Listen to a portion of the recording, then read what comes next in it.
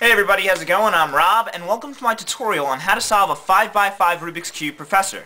At this point before proceeding, I highly recommend that you know how to solve both the regular 3x3 Rubik's Cube and also the 4x4 Rubik's Cube Revenge before attempting to solve the 5x5 Professor. I will be referring to both my 3x3 and 4x4 tutorials, both of which can be located on my channel playlists. Now, there is only one new algorithm that we're going to have to learn in order to solve the 5x5 as long as you know all the algorithms to solve the 3x3 and 4x4 cubes.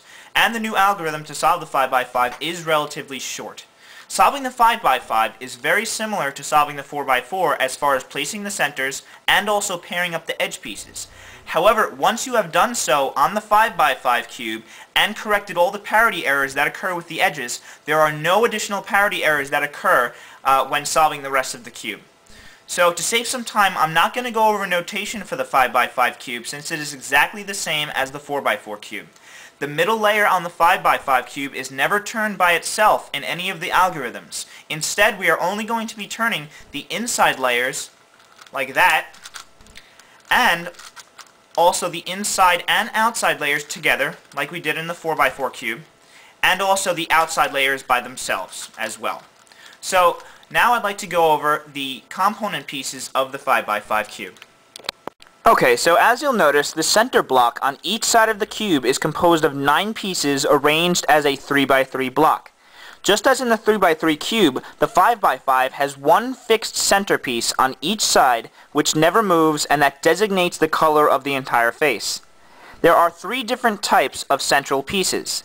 There is that one middle centerpiece, there are four edge or side centerpieces per side, and there are also four corner centerpieces as well. Every side of the cube also has 12 edges which make up what are called triple edge pieces or tredges.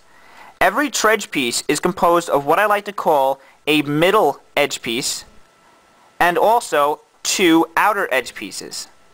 Just as in all cubes, there are also eight corner pieces on the entire cube. Just like the 4x4, we must first place the center pieces, then pair up the edge pieces and fix parity, and then solve the cube as a 3x3. Now let's go on to placing the centers on a mixed up 5x5. Alright, so what we're going to do first is to pick a bottom color and a top color and solve those centers first. I choose white for my bottom and yellow for my top, and I always solve the white center first. To do that, we're going to need to form 2 by 1 blocks like this one.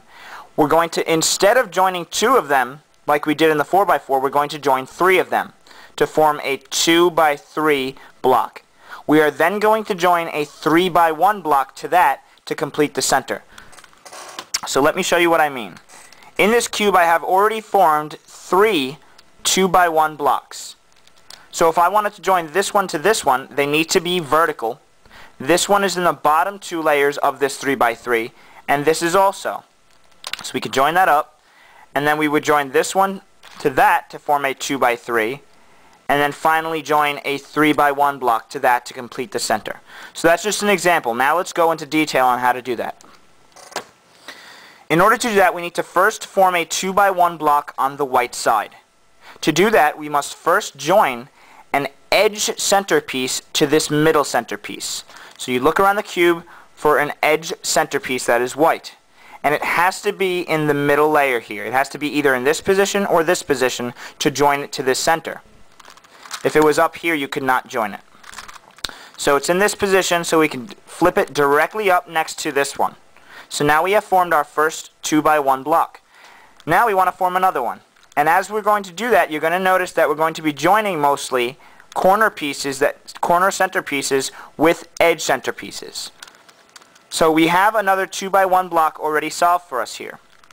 So if we hold this white center on the top face and we get this positioned on the front face, we could join them up.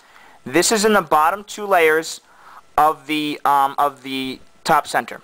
So we need to get these two in the bottom layers as well. So here's it's in the bottom layers. If you flipped it around like this, this is in the top left of this 3x3 block. So we couldn't join it like that. So we get it in the bottom right and now we can flip it directly up to form a 2 by 2 white block. So now we want to get one more 2 by 1 block here so that we form a 2 by 3. So we look around the cube. When you have two pieces on the same face like this, it's quite easy to join these two pieces up. All you have to do is basically hold it so that one is on the top and one is here on the bottom. Then what we could do is we basically lift this piece up to the top face, bring it down so that we, because we want it here, so we have to get it in this position. So we bring it down, and then we just bring it back. So now we have formed a 2 by 1 block by doing that. So let me do that real quick again. So it's here. If you want to bring it up, flip it down, and then bring it back. So now we have another 2 by 1 block. So if we want to get it next to here, this one is in the top left of this 3 by 3 block. So we have to get an empty spot in the top left of this block. So if we twist it like that, now you'll see we could join this piece up to that. We couldn't put it like that because it wouldn't join.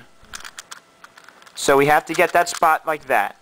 Now we could uh, shift this piece up to the top and form a 2 by 3 block.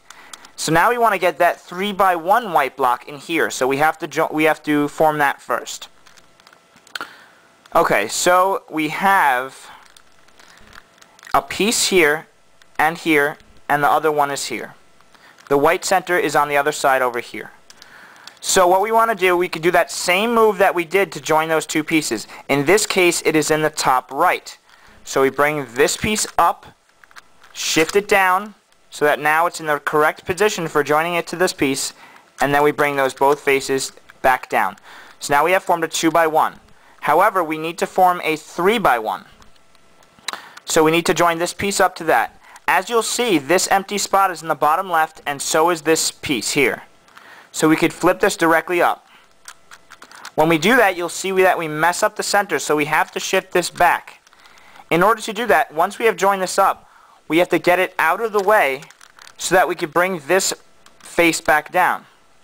So you don't want any of these pieces to still be in this face. So now we could join that back down. Now you'll see this is on the right side and these two are on the left. So all we have to do is basically turn this 180 degrees and we have formed the first center.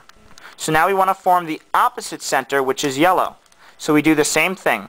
We have a piece here that is a side middle piece, a side center piece, and it's in the middle layer. So we could flip it directly up.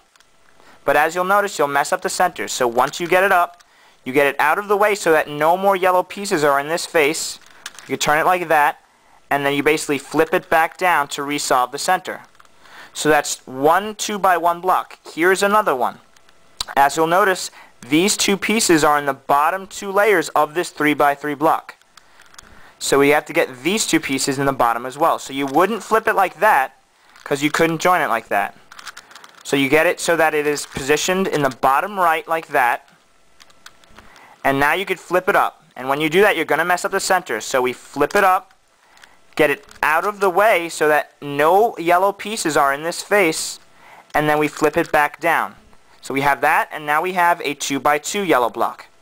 So now we want to form another 2 by 1 yellow block and get it next to this 2 by 2.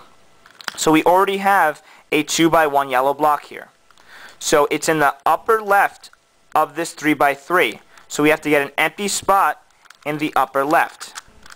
So now you'll see we could flip this directly up next to that. We could also, if you wanted to, if this piece was here in the bottom right, we could also get it so that this piece is in the bottom right as well. And then you can flip it up. So once we flip it up, you'll notice you're going to mess up the center. So we flip it up, and now we have to put this layer back down. So we don't want any yellow pieces in that layer because it'll just bring it back down. So we flip it up and then we get it out of the way. So now this layer is completely cleared. So now we can bring it back down and we have the white center resolved and we have a 2 by 3 block of yellow. So now we want to form the 3 by 1 to get it in there. So as you'll see, white is on the right and yellow is on the left. So we can basically, we don't have to worry about messing up any of these centers yet. Okay, so we have a corner centerpiece here, and we have an edge centerpiece. This one's in the bottom layer, so we get this one in the bottom layer. Now we can flip it up, and we formed a 2 by 1 block. So now we have to look for the last piece, which is here. This piece is in the bottom left, but this empty spot is in the top left. So we basically just flip this up, and now we could flip that up and form the 3 by 1. Okay, so now we have to join this piece up here. We can't just flip it like that, because it'll mess up the centers. So we basically get this piece, turn it 180 degrees around, and we kick this piece out by flipping it up, turn the top 180, and then bring it back down. That's a similar move to the one done in the 4x4 tutorial. And if you did all that step, all the steps correctly, you should have two completed centers. So now you're ready to move on to the second part of the centers.